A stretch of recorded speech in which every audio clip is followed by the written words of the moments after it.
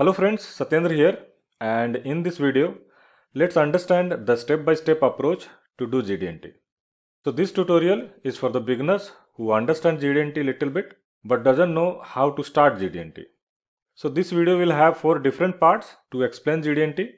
In first part, I will explain the difference between general dimensioning and tolerancing and geometric dimensioning and tolerancing. And then we will understand the need of GD&T. In second part, I will explain the step-by-step approach to do GD&T. So here we will understand how to start your drawing and how to end your drawing. In third part, we will understand different type of GD&T placement and datum placement. So in this part, you will understand different ways to place the GD&T and to place the datum.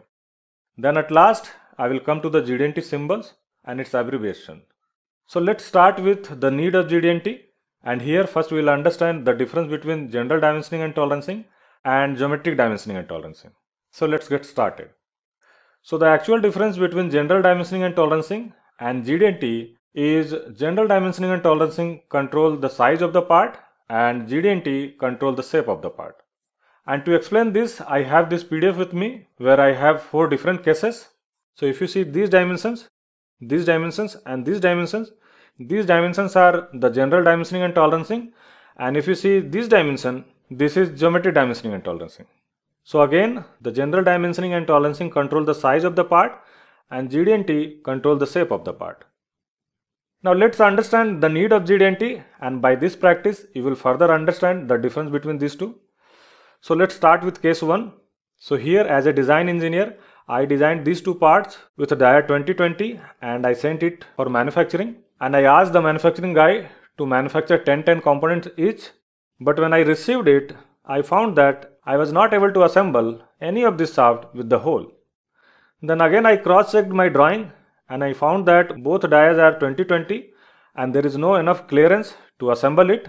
So I corrected this drawing and made this drawing like this. I added tolerance here.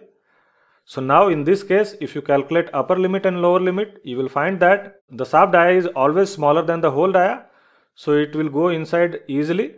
So here if you calculate this upper limit 20 plus 0 20 and lower limit is 20 minus 0.1 is 19.9 so it is 20 and 19.9 and if you calculate this upper limit and lower limit the upper limit is 20.2 and the lower limit is 20.1 so here the smaller hole is 20.1 and here the bigger shaft is 20 so in all cases I was having enough clearance to insert this shaft.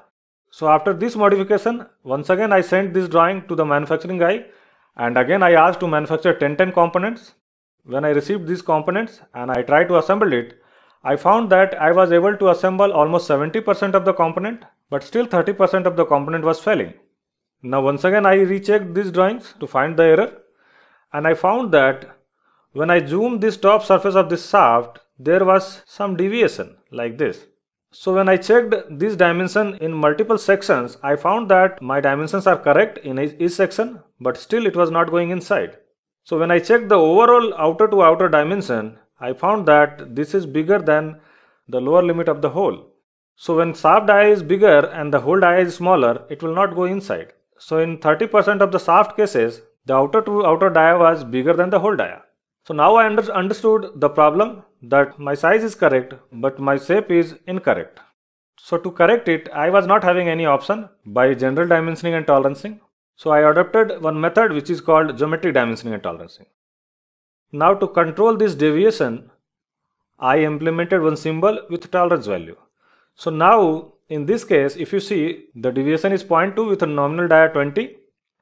So here the deviation is 0.2 so to control that deviation, I added cylindricity with a tolerance value 0.02.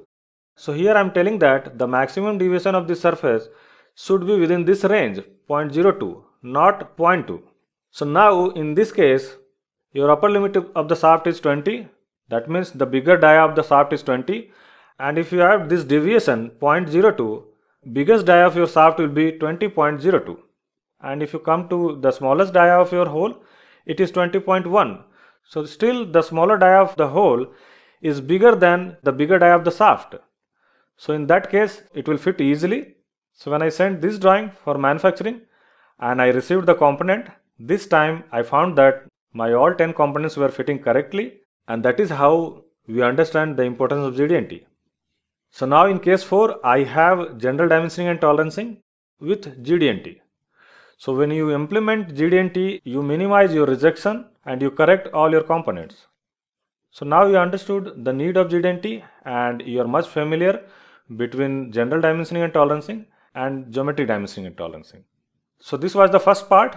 Now let's move to the second part where we will understand the step-by-step -step approach to do GD&T so before I start the second part, let's understand some basics about GD&T.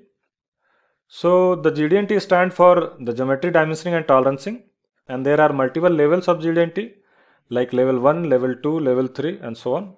But as the level of GD&T increases, the manufacturing cost also increases. So we all avoid multiple level of GD&T. We try to minimize it. So when we do GD&T for any part, there must be a physical relation for that particular part to another part inside the assembly. So if there is no assembly, there is no GD&T. So let us assume that you have an individual component which itself is a complete product, then there is no GD&T. Your general dimensioning and tolerancing is good enough to manufacture it. So now you understood that whenever we do GD&T, that means there is a relation for that particular part to another part inside the assembly. Now let's understand the step-by-step -step approach to do GD&T so the first thing is when you start GD&T for any particular part, you need to place the 2D views in your drawing. So let us place the 2D views. So I place my 2D views here. So in my case, I have placed a 3D view for better understanding. So you will be placing 2D views in your drawing. So once 2D view is placed, now you need to decide that which surface you are going to place on the inspection table. Now let us assume that this is the surface, the top surface I am going to place onto the inspection table. So the moment you decide one surface to be placed on the inspection table, that surface has to be the perfect surface before placing to the inspection table. And that is why we place flatness to that surface. So if you decide this surface to be placed first on the inspection table, then this surface will get flatness. But in my case, I decided to place this surface onto the inspection table so automatically this surface will get the flatness. So once you decided this surface to be completely flat, you added flatness. Now after that, you can consider that surface as your datum A because this surface is the surface which is going and sitting on the inspection table and this surface is completely perfect and all the dimensions I am going to reference with this surface, then I can make this surface as datum A. Now my datum A is decided now I can go with a single datum or multiple datums as per my requirement. So in this case, I am going with multiple datums. So the next step is decide the datum B and datum C. So I have decided datum A, B, C. So once you decided all your datums, now datum A is your primary datum, datum B is your secondary datum, and datum C is your tertiary datum. Now sometime you won't see any flatness applied to any part. That is because if the size of the part is very small, it is coming within the tool size, then without applying flatness also, you get the perfect surface. So in that case, no need to apply flatness. But if the size of part is bigger than your tool size, then you must apply the flatness.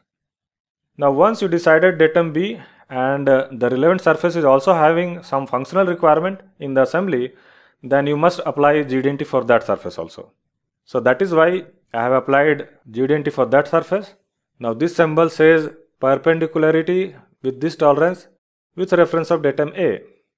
So now I am telling that this surface has to be 90 degree with what? With reference of some other surface and that surface is datum A.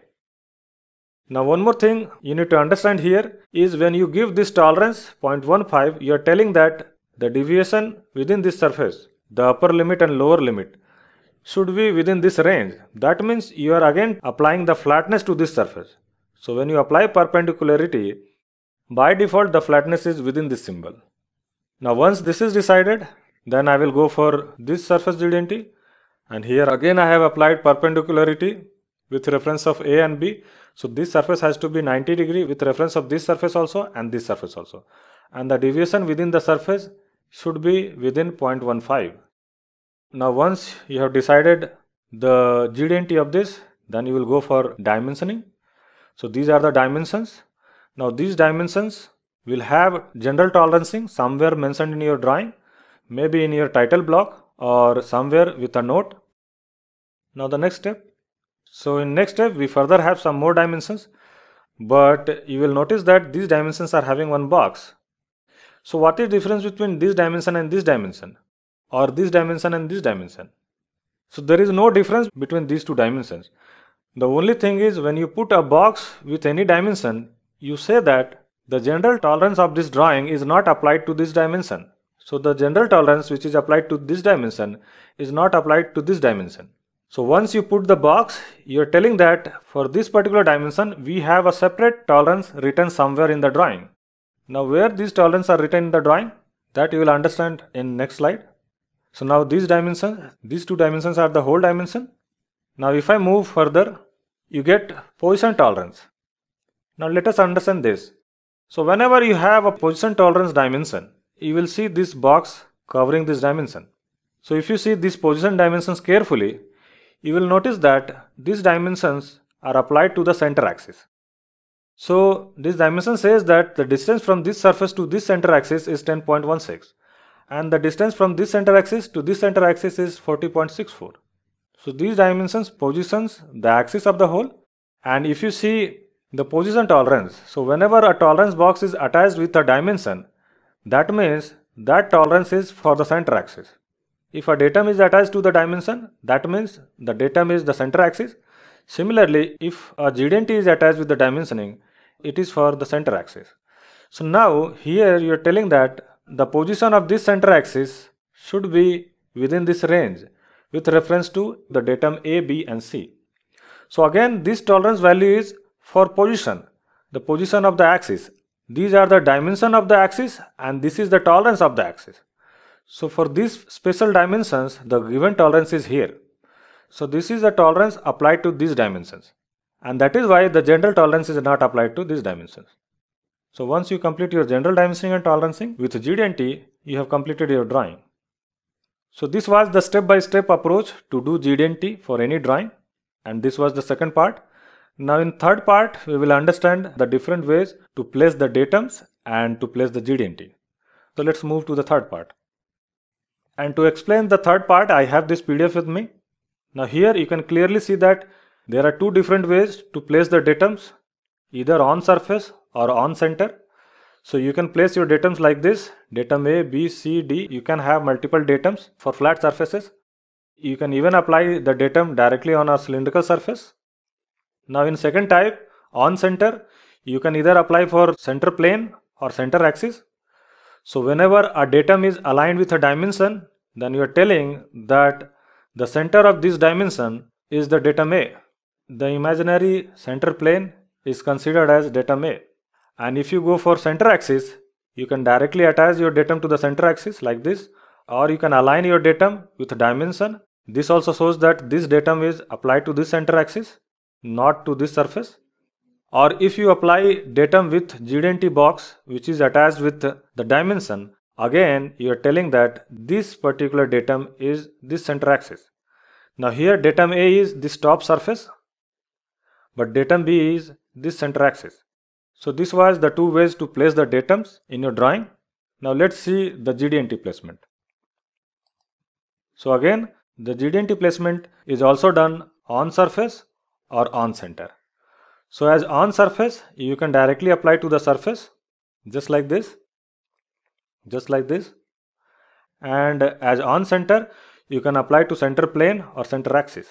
So in this case, this GD&T is applied to the center plane now if you come down directly on center axis, so if you understand this GD&T box, it is telling that perpendicularity within this range with reference of A. So the datum A is the top surface and datum B is the center axis. So this GD&T box is controlling this center axis. The center axis has to be perpendicular that means it has to be 90 degree with the datum A with this top surface within this range. So the center axis deviation will be within this range. So again, as it is applied to the dimension, it is applied to the center axis. So these are the two ways to place the datums and place the GD&T inside the drawing. So this was the third part. Now let's move to the fourth part. So in fourth part, we will understand these symbols and abbreviation. So I'll start with these four symbols. These four symbols doesn't require any datum. This control the form. Now if you see the flatness and cylindricity, practically both are similar because when you have a flat surface to be controlled, you put flatness and if the surface is cylindrical, then you put cylindricity. Similarly, circularity and straightness is having similarities. Now these two are used to control the throughout profile of any part. These two also doesn't require datum, but sometime if it is referenced with something, then you may need the datums. Then you have these three symbols which control the orientation and these three symbols are always referenced with the datums. So when you say one surface to be angular, then you must define one more surface from where you need to measure the angle. Similarly, perpendicularity, parallelism. Then these three symbols, these three symbols are for location. These three symbols also require datum, concentricity, symmetricity and position. At last you have two symbols, run out, which again require datums. So these symbols you understand little bit and once you start working on it, you will understand thoroughly. Now these are the abbreviation. Now if you go for straightness or flatness, the deviation of surface and deviation of straight line is shown here. So if you zoom this top surface, there will be some kind of deviation which is shown here in two surfaces and uh, the deviation should be within this range that is the range of the top surface if you see straightness if you zoom this area there will be some deviation in a straight line manner. So that two lines are shown like a cylinder here. This cylinder is not this cylinder. It is the two line coming here. And uh, the deviation should be within that two line range. Similarly for circularity the deviation of the surface within this range. Then you have cylindricity. Again you can see here the cylindricity there are two cylinder. One cylinder is this cylinder and one cylinder the up and down deviation is shown here and the deviation should be within this range similarly you have profile parallelism you have perpendicularity you have angularity you have position coaxiality or concentricity symmetricity and you have run out so this was the fourth part and by these four parts I believe that you will understand GD&T better. So that's it from this video. Now you like this video if you find this content helpful and I'll see you in my next video. Thank you.